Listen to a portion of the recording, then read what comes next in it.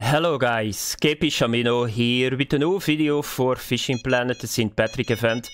And I'm now completing a Leprechaun Favor 6 already. And I'm going to show you guys what I did in this area. So Maku Maku was really hard. Why was it really hard? Because this is the problem.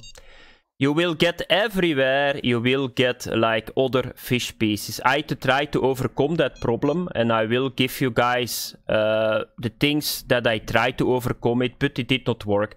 The half of my fish is normal fish. You cannot do a lot about it. Uh, so what did I do? I played with the hook size. So I went to a 2-0 hook, you guys can see it. Um, it was a little bit better, uh, the 2-0 hook, uh, but it's still producing piranhas and all that small fish. Bully grasshopper is not so good, so I just wanted to show you guys it. So be sure that the bully grasshopper is gone. Uh, just take the drunken worm. Bully grasshopper is attracting too much piranhas and, and all that small crab that you just saw.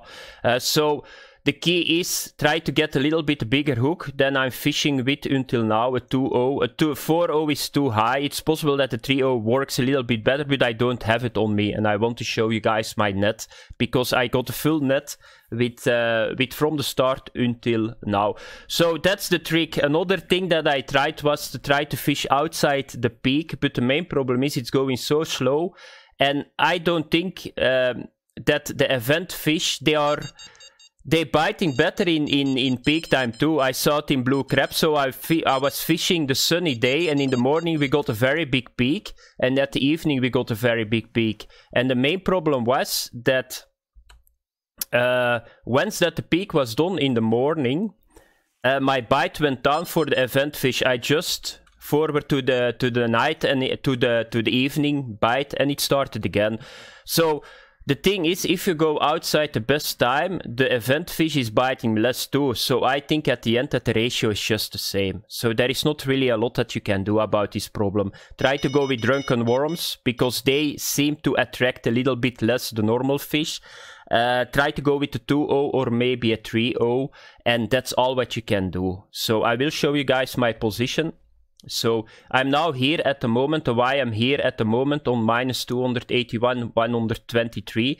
That is because there is no vegetation, so stay away from the vegetation, stay away from uh, from like positions that there is a lot of panfish and uh, piranhas. So try to go in the open water, not too far in the open water, otherwise the catfish is over there.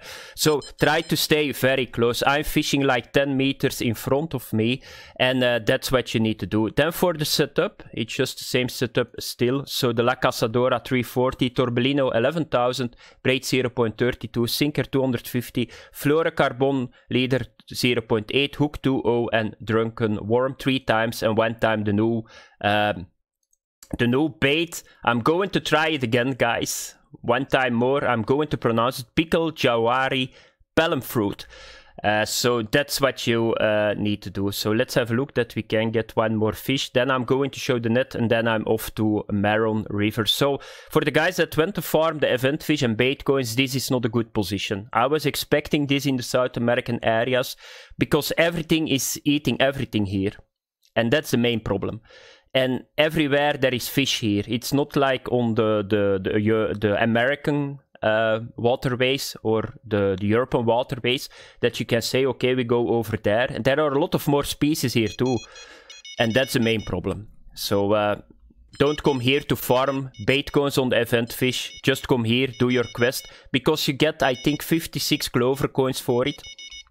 And therefore, it's very, very good. So I hope this is, yeah, it's a fat one. This is the last one. Then I'm completed the quest. So I'm very happy so that I can get out of this place. If somebody, of course, got like a very meta farming and you say to me, I only got like two fish on 48 or 50 fish that are not event fish, just post it in comments. I will pin it that everybody can read it. So always check that out in comments because a lot of good information is always in comments. So you guys can see it. I think that roughly said, I think that half of my fish of the 48 are normal fish. I tried everything, but you can see it here. Uh, yeah, you cannot do a lot about it. So that was it, guys. I'm now off to Marron River. And uh, I'm going to get over there 10 rowdy bass. So thanks for watching Uh, no, not thanks for watching. I see you guys in a little bit. Okay guys, the next part is catch Rowdy Bass in Marron River and uh, it's it's a little bit better this one than uh, than Maku Maku. So the position is over here. So let's have a look on the, the machine. So here you can see it, it's 100, 311. It's just a little bit to the to the right of the Botok. And let's have a look so uh, what I see here is what you guys now see. So it's a lot of rowdy bass uh, and uh, I don't get a lot of other fish because this is a spot that we use for the competition. Uh, for what is it called? Not peacock bass, but uh, it looks a little bit like like a peacock bass, and uh, it works really well. So I went to a 3.0 on all the setups, so you guys can see it. Uh, normally Bully Grasshopper works really well for the Rowdy Bass. So I got now, I think, three of my four rods got Bully Grasshopper and one got Drunken Worm. And you guys already can see that's a lot better than what I just showed you guys in Maku Maku. So I got 11 fish and two are normal.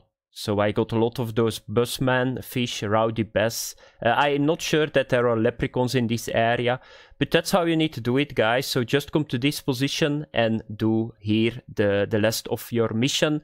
And uh, I'm going to finish it up, and then it's a leprechaun favor 7, I think. So thanks for watching, have fun, bye bye.